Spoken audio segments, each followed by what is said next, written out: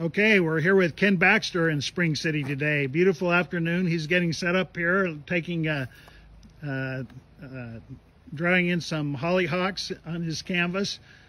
Uh, he always works in these little small format paintings for his uh, plein air uh, setup, as you can tell. But uh, he's he's a tremendous painter. We're glad to have him today in Spring City and getting ready for our big competition coming up next month.